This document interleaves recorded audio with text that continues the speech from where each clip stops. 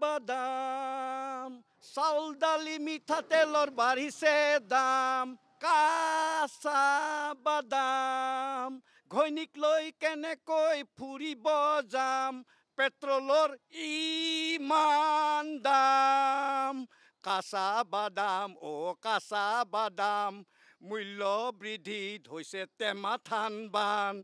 কাঁচা বাদাম কাঁচা বাদাম। পেট্ৰল ডিজেলৰ পিছত এইবাৰ মিঠাতেল ৰিফাইন তেল।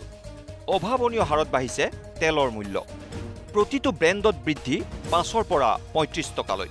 ইমান মূল্য বৃদ্ধি হৈছে ইমান মূল্য বৃদ্ধি হৈছে যে কাঁচা বাদামো কিনি খাব নোৱাৰা হ'লোঁ।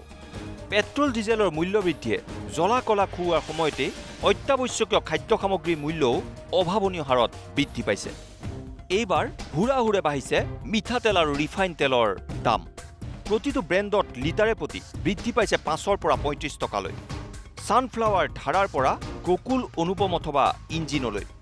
সকলো ব্ৰেণ্ডত মিঠাতেল অথবা ৰিফাইন তেলত বৃদ্ধি পাইছে মূল্য। প্ৰথমে বলক ডিব্ৰুগড়লৈ। ডিব্ৰুগড়ত কি দৰত বৃদ্ধি পাইছে মিঠাতেল ৰিফাইন তেলৰ মূল্য? শুনক ব্যৱসায়ীৰ মুখেৰে।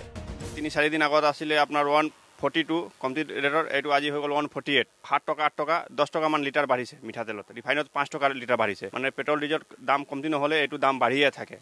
ঈদ আহিছে ফেষ্টিভেল আহি গ'ল এতিয়া এক লিটাৰত মানে ছেভেন এইট ৰুপিজ হ'লচেলত দাম বাঢ়িছে। অকণমান বাঢ়িছে। না প্ৰতি লিটাৰটো দহ টকা বিছ টকা তেনেকুৱাকৈ বাঢ়িছে। বিশ্বনাথ চাৰিআলিতো একেই মূল্য বৃদ্ধি। অভাৱনীয় হাৰত বৃদ্ধি পাইছে মিঠাতেল অথবা ৰিফাইন তেলৰ মূল্য।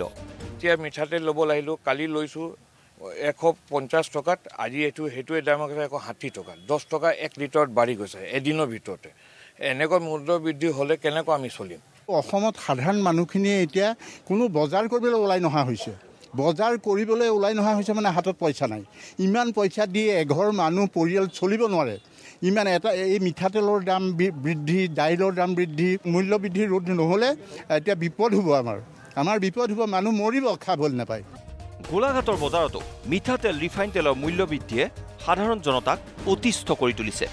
এনেকুৱা হ'লেতো আমাৰ মধ্যশ্ৰেণীৰ মানুহৰ বহুত অসুবিধা হৈছে আৰু নিম্ন শ্ৰেণীৰ মানুহৰতো বহুত অসু- অসুবিধা হৈছে। এতিয়া আমাৰ মধ্যশ্ৰেণীৰ মানুহৰ আমাৰ না আমি লোকৰ ঘৰত কাম কৰিবলৈ যাব পাৰোঁ আমাৰতো চাকৰি বাকৰি নাই না আমি কিবা কৰিব পাৰোঁ। এতিয়া আমাৰ কাৰণে বেছি হেৰি হৈছে চৰকাৰে নিম্ন শ্ৰেণীৰ মানুহখিনিক ধৰক আপোনাৰ চাউল তাউল দিছে কিবা কৰি চলি আছে।